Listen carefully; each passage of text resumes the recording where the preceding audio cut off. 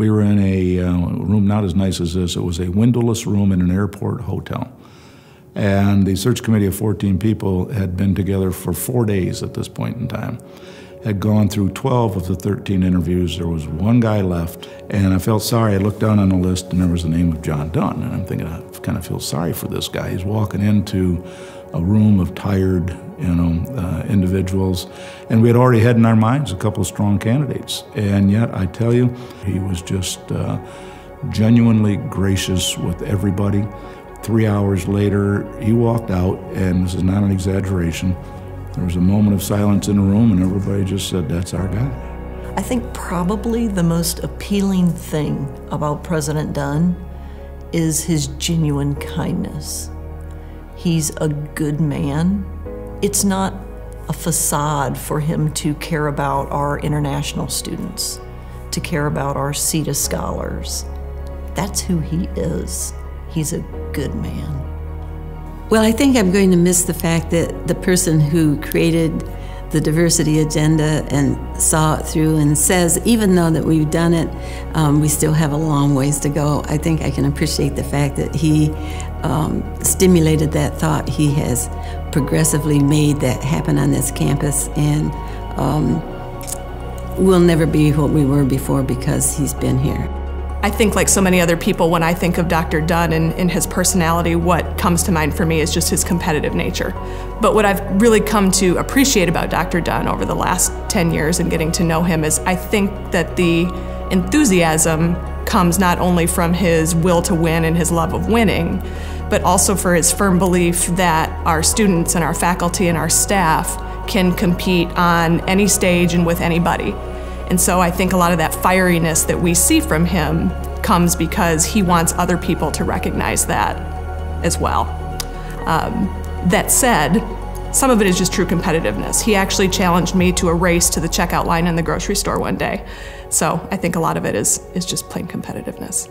You know, I've seen the list of accomplishments that that accompany the farewell tour, and and they really capture the objective things. And of course, here at Cooley, we think the greatest accomplishment is the affiliation with that we have with Western. But but I think he's my legacy statement would be he's brought Western to life. He's made it real. He's made it a vibrant place. He's made it much better known throughout the state of Michigan. And I think a lot more people have an appreciation for the quality and scope and breadth that the university has compared to what it was 10 years ago. Part of his legacy is what we have been able to achieve as an institution. There have so, been so many things, and in particular at the graduate level, we have grown in recognition in terms of our national rankings and professional recognition. We have been able to increase the number of partnerships and collaborations that we have with international and U.S. institutions to bring more students to Western Michigan University to study at the graduate level. And we've been able to welcome uh, individuals into our Bronco family and to make them proud of that education that they receive. This has been a great place, and he's just made incredible contributions to making us even greater. With Dr. Dunn, he embraced the Kalamazoo nature of Western Michigan University. What I mean by that is these two organizations, if, we, if you will, are connected. They have always been connected and always will be connected, and he's valued that connection and understanding that where the university goes, the city goes, where the city goes, the university goes. President Dunn, if we could, as a Senate, thank you for one thing in your 10 years, it would be your commitment and your service, as well as your support in your presidency for the work of the faculty.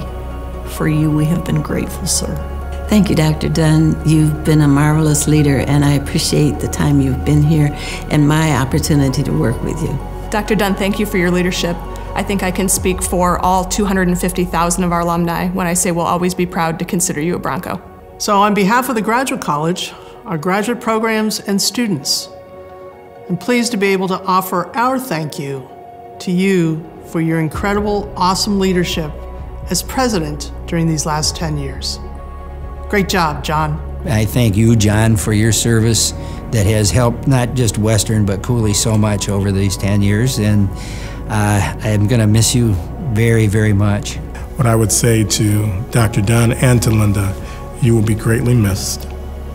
You are always welcome in Kalamazoo. You will always have a place in our hearts and a place in our community, and will always be a Bronco no matter where else you go. But with that, you'll always be a Kalamazooan as well. We love you, Dr. Dunn. It is a sad time in many respects, um, seeing John and Linda leave this community. I know John has made this a better university. He has made this a better town. He's made me a better person. Um, and so I can only thank him for everything that he's done. I love you, man.